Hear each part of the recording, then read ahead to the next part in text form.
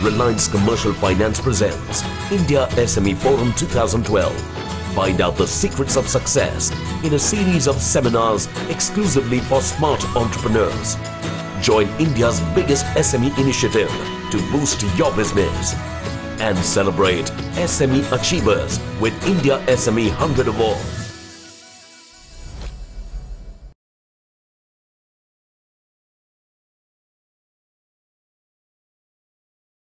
Good morning once again. The tone has been very well set for business growth. So let's see how business growth can be achieved through uh, different means, including uh, technology. Technology, I mean by information technology.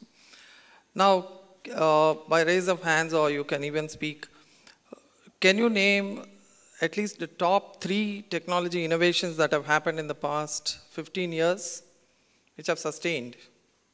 What is the greatest innovation that has happened in technology which is really helping all businesses today to grow? Internet. Yeah. And anything, one more? Mobile. Okay. Steve Jobs is, uh, he has used technology. So these are the major five technology, fifth one will come up. See, uh, one is the internet, which has really swarmed and today we cannot imagine without internet how do we really conduct businesses by each one of you. I'm sure each one of you using at least an email. So can we imagine today to send an email without internet? No, it's not possible. Then mobility. Without a mobile phone today, I think we don't step out of the house. We, even if you step out and forget it, you go back, pick your phone and come back, even if you're getting late. I'm sure this happens. This happened even today for some people, I guess.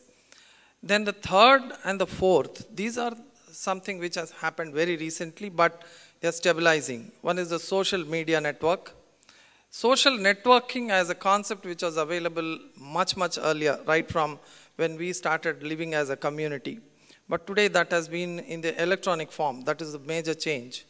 And the fourth one is the cloud computing. That is, this is also a kind of a, a shared model of using technology. It's not that you buy technology for yourself and start spending a lot about it. So these are the four things and the underlying DNA or I should say the fabric which is enabling all this to happen is the high speed communication. Let us say this communication was very low speed. He also mentioned one of the delights of an internet user will be to get access to the immediate site at the high speed. Let us say you have to wait for 8 to 10 minutes to come up to the home page of any website. I think you will never, never, ever get back to internet at all. So these are the five important innovations that have happened and it, these, uh, I should say this again, innovation has not stopped. Just because a kind of a communication has started, it didn't stop there. It has moved from 2G to 3G to 4G. These kind of high-speed communications have happened. Wireless, from wireline to wireless. And now today, even sitting here, you can access all your business applications. So this is the scenario today. But how it has really evolved, we will also see. There's, mobility has really taken a very high uh, dent into the people's life. Today, as we earlier said, you cannot really survive without it. And these are some figures. What I am trying to say is two important things that technology can do for you, for all of us, as far as business is concerned. One is it will immediately take you to large distances. Distance is no more a barrier for us to do business today. Sitting in Bombay, you can do business across, across the country, or even you can go outside the country as well. So you can make your presence very, very much felt. And there is no issue of handling large volumes of your business, large volumes of your transactions. Absolutely, that is not an issue today. Because if you, are, if you think that I'm a small business, therefore I can operate out of a small geography or I can operate only a few volumes of transactions, that is no more an issue. Absolutely, you can do that. Then, but what is that which is stopping you from adopting technology? Again, one important uh, issue or two important issues which stop you from using technology is one is the lack of skilled manpower. That means if you adopt uh, technology, if you buy technology and what is required, you have to run this technology by using skilled people. So skilled people are at a premium. What happens if you have already adopted technology and the skilled guy has left? So then you will be in trouble. The other is the acquisition itself is at a very, very high cost. So these are the two things, cost and people. So how do you really block this or how do you overcome this? There are three options to adopt technology or anything else. One is you acquire technology, which we call it as the capex model. But buying technology is a very, very expensive one and it is not flexible. I'll also explain what is flexible or not.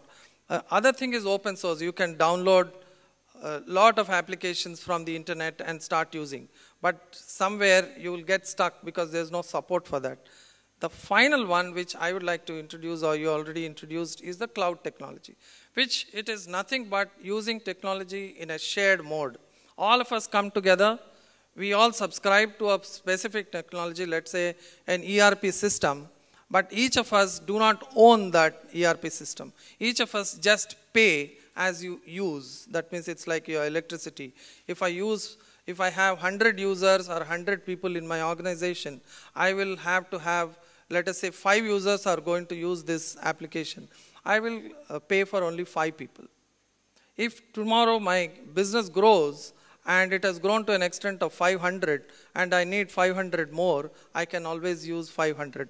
So 550 is my current number of users. Suddenly the business has taken a downtrend for some reason, XYZ, though it's not really a, a great event. But still, it can happen. We have seen several times. Then what do you do with 550 licenses? Absolutely, there, there are no 550 people. So how do you scale down? Cloud computing allows you to scale down. So previously, we always, when you say business, it is always scale up. So there sh it should also have the flexibility to scale down. And that answer is cloud computing. So cloud computing, there are absolutely, even your email, even your PowerPoints, even your spreadsheets, everything is available in cloud. Today, I can say A to Z, even your uh, contact centers can be on a hired basis. Even, uh, I should say, your CRM systems, payroll management, everything could be on the cloud.